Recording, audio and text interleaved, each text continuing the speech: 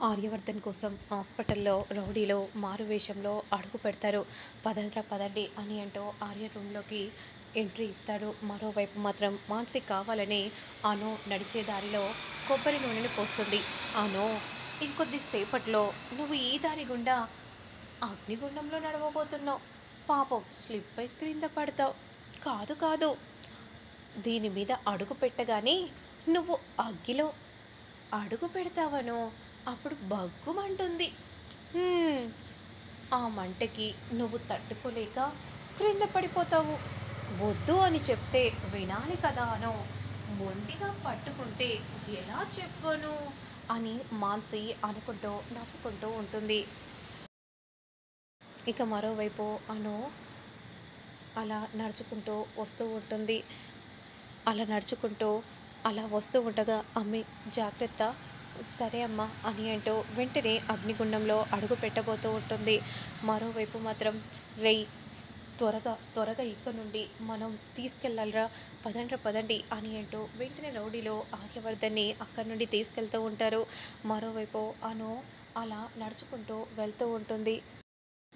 అను ఒక్కసారిగా అడుగు వేయగానే మంట ఏర్పడుతుంది. అమ్మా అని గట్టిగా అనగానే అమ్మి ఏమైందమ్మి? ఏం జరిగింది? అని అంటూ ఉంటే మరోవైపు వెంటనే ఆర్య కోసం అంత మంటను భరించుకొని వెంటనే ఆర్య సక్షేమంగా బయటపడాలి అని ఏంటో వెంటనే బాధనంతా తట్టుకొని అను అగ్నిగుండంలో నడుచుకుంటూ ముందుకు వెళ్తూ ఉంటే మాన్సి షాకింగ్గా చూస్తూ ఉంటుంది. అను మాత్రం నడవలేకపోతుంది. కానీ అను అలా నెమ్మది నెమ్మదిగా అడుగు వేయబోతూ ఉండగా ఒక్కసారి ఒక్కసారిగా అగ్నిమంట ఏర్పడుతుంది. అమ్మా అని గట్టిగా అరుస్తుంది. అందరూ షాకింగ్గా చూస్తూ ఉంటారు. అమ్మి నీకేం కాలేదు కదా? అమ్మా నాకేం కాలేదమ్మా అని అను అంటూ ఉంటే ఇక మాన్సి మాత్రం నవ్వుకుంటూ చూస్తూ ఉంటుంది.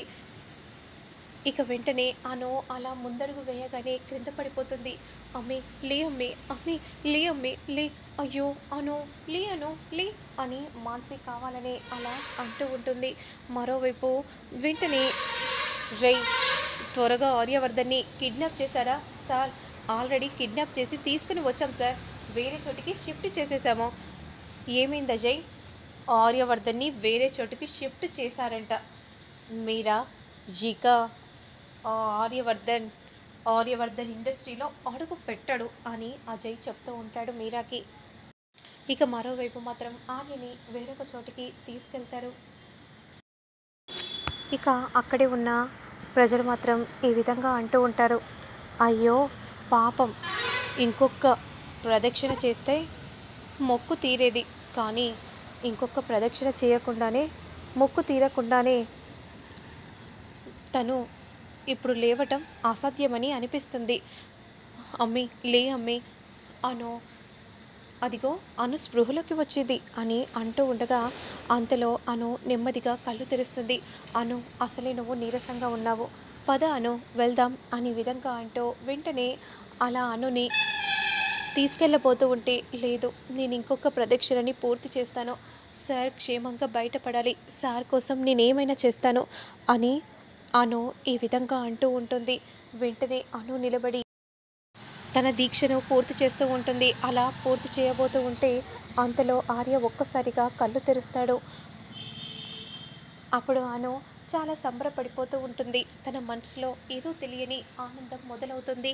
అను అలాగే పూర్తిగా తన దీక్షను పూర్తి చేయగానే ఒక్కసారిగా ఆర్య కళ్ళు తెరుస్తాడు. వెంటనే ఆక్సిజన్ తీసి అలా చూస్తూ ఉండగా అమ్మ నా దీక్షను పూర్తి చేశానమ్మా. ఎలాగైనా సరే సార్ క్షేమంగా బయటపడాలి. అంతే చాలమ్మా అని అను ఈ విధంగా అంటూ ఉంటే ఆర్య ఓకే కదా బాగానే ఉన్నావు కదా? సెండే ఐఎమ్ ఆల్ రైట్ నేను బాగానే ఉన్నాను. ఆర్య నువ్వు చెప్పినట్టుగా చేయటం వల్లే క్షేమంగా నువ్వు అక్కడి నుండి బయటపడ్డావు అని జెండే చెప్తూ ఉంటాడు. అప్పుడు జరిగిందంతా కూడా మనకు చూపిస్తూ ఉంటారు. రౌడీలు ఆర్యని కిడ్నాప్ చేయకముందు అప్పుడు జెండే ఆర్య దగ్గరకు వస్తారు. ఆర్య ఏమైంది Arya?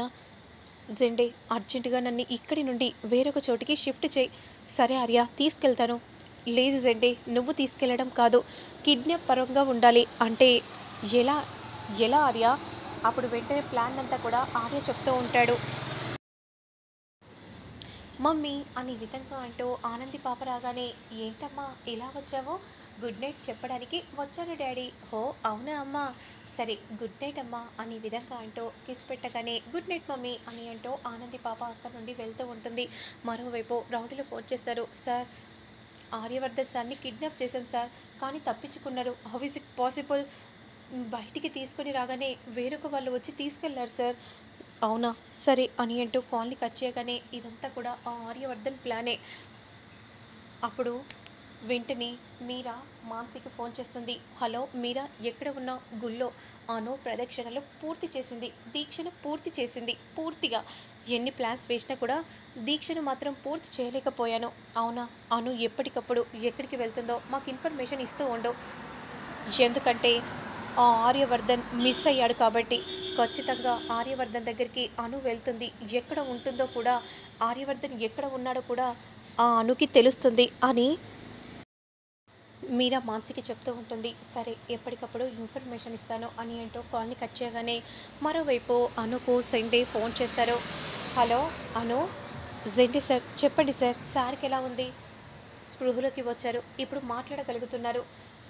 Perfectly all right Anu అవును సార్ చాలా సంతోషంగా ఉంది. సార్ క్షేమంగా ఉన్నారు. సరే అను నేను నీకు లొకేషన్ పంపిస్తాను. ఎవరికి ఏం చెప్పకుండా వచ్చేసేయ్. సరే సార్ అని అంటూ కాల్ని కట్ చేయగానే ఇక పద్దు మాన్సి ఇద్దరు కూడా ఎదురుగా కనిపిస్తారు. ఏంటమ్మి ఎవరితో మాట్లాడుతున్నావు? ఏం లేదమ్మా.